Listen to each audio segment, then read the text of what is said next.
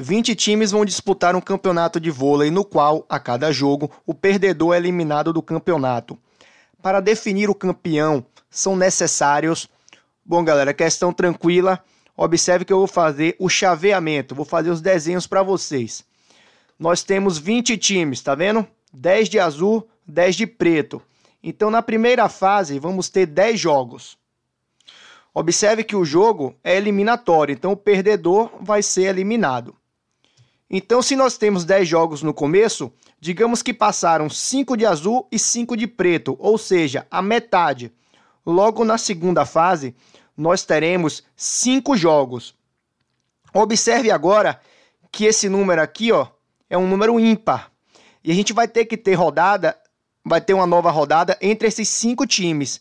Então o que é que vai acontecer?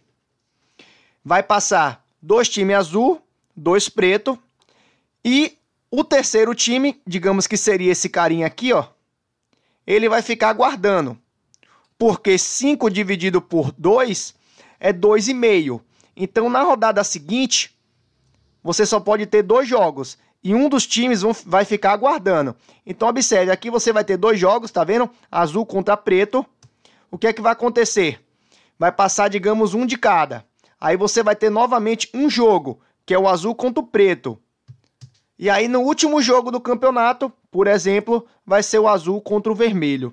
Então quando você fizer essa escadinha, você vai perceber que você vai ter ao total 19 jogos ao longo do campeonato para você descobrir o campeão. Então assim, eu espero que tenha ficado claro. Eu fiz através dos desenhos, tá vendo? É só você pegar, colocar 10 times e ir eliminando. Cada fase, um vai perder e aí você vai entender aqui a sequência que eu quis mostrar para vocês. Espero que vocês tenham entendido. Se gostaram, deixe o like. Um grande abraço e até a próxima.